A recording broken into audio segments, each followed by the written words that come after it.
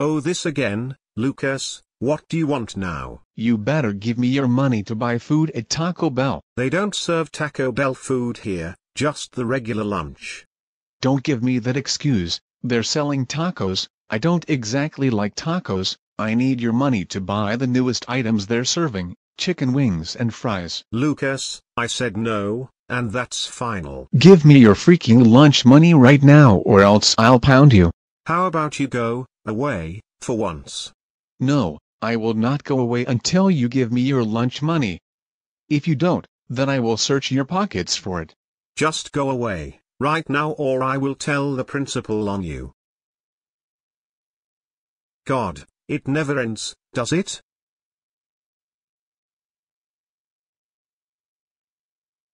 Hey. Get off of me. Give me your money right now. No. Just get away from me right now, because you keep bothering me, you never even have any manners.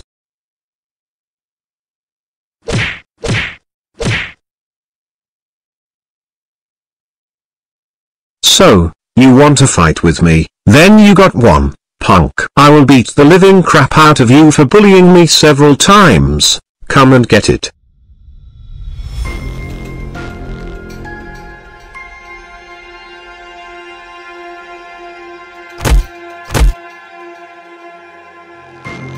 Get back here, coward. Let's go.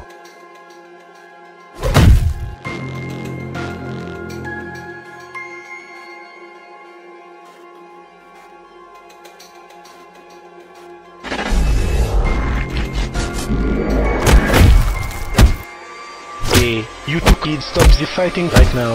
You both are in deep trouble. There. Now get to the principal's office right now. Oh, crap we are in very big trouble right now.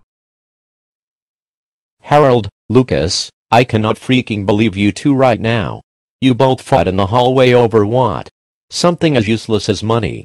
You two are in huge trouble right now. Principal Dowick, I can explain, I was going to go to class, until Lucas asked me for my money, when I refused, he started to attack me. And that's how we fought in the hallways. I needed to buy something from the store since I was tired of the same stuff they serve at lunchtime. Please Mr. Daywick, have some mercy on us. No. I am not going to have any mercy on students who do a lot of terrible and stupid things in this school. Harold you are suspended for a whole week. Lucas, you will be suspended for a whole month. Given how you two had got bruises during the fight, you will have to ask your parents to heal them since they don't look that much fatal to me. Now get out of my school, while I call the both of your parents. So Harold, you got into a fight with Lucas, huh? That's why you came here early. Yes, that's why you. You are grounded until your suspension is over. You don't fire people in school, even when they did something bad to you. That's right Harold, you don't ever fight people in school because that would get you in big trouble. Go to your room right now. Lucas, I just got a call from your principal, saying that you were fighting with a student named Harold. We told you several times to not fight people, and yet you disobeyed us. Bullying people is unacceptable. We also cannot believe that you even wanted to steal Harold's money. What do you have to say for yourself, mister? And it better be with respect. That he honestly deserved it for always being the good student of my class, and because he refused to give me his money. Oh oh oh oh oh oh oh oh oh oh oh. Lucas, how dare you say that? You know what? You're so grounded for the whole month. You're suspended for. Oh boo-hoo.